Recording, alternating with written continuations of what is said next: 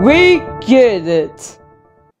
If you want to show logic how to make this effect, our possible question is how to make. This intro was created by Logic Smashpit 2021.